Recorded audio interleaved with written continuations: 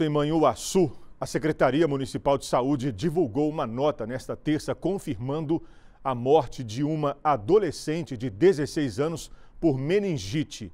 Vamos saber outros detalhes desse caso com o repórter Miguel Braz, ao vivo. Boa noite para você, Miguel.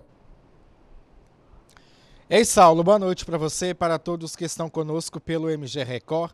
A informação foi divulgada pela Secretaria de Saúde nesta terça-feira, embora a adolescente morreu no dia 4 deste mês.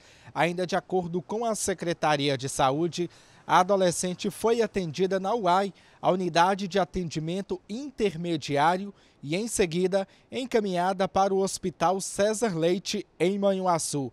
Essa foi a primeira morte causada pela doença meningocócica registrada na cidade. Conforme a prefeitura, assim que houve a confirmação da doença na garota, foi adotado o protocolo de ações preventivas.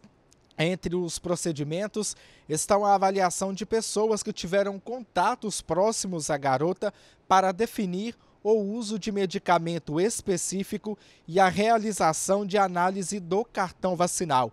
A Secretaria de Saúde ainda reforça que a vacina contra a meningite está disponível pelo SUS e ainda frisa que os pais devem zelar pela vacinação dos filhos, ou seja, manter a caderneta vacinal atualizada. Saulo, só é válido lembrar que esta é a primeira morte por meningite que o município registra, mas Manhuaçu acumula duas mortes ocasionadas por dengue.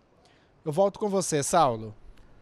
E lembrando também, Miguel, que além dessas duas mortes de dengue, um terceiro caso de dengue é investigado em Manhuaçu.